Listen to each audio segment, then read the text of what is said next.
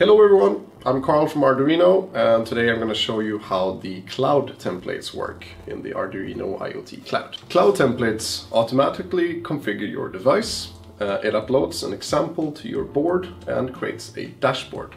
This is all done through a installation wizard which you can do directly in the Arduino IoT Cloud. To use templates you will need an arduino.cc account and if you don't have one, don't worry, it is free to create one.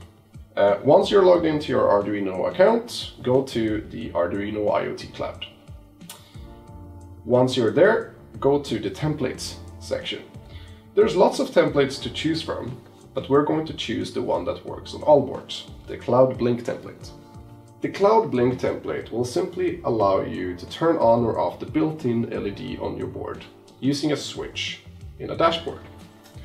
To use this template, click on the import template and follow the instructions. Once the installation is complete, you should have generated a thing and a dashboard. Inside your thing, you'll find your sketch and your variable configuration. You can access your newly created dashboard in the Dashboards tab. In our dashboard, we have a switch. So when we're flicking this switch, the light on the board will turn on. So we're gonna click this little switch here. And as you can see, the light on the board has turned on. And now if we click it again, the light has turned off. And that's basically it. Templates are a really good way of getting started as it does the entire installation process for you. You can fully modify your code and everything afterwards, so it's a great way of just getting everything working from the beginning.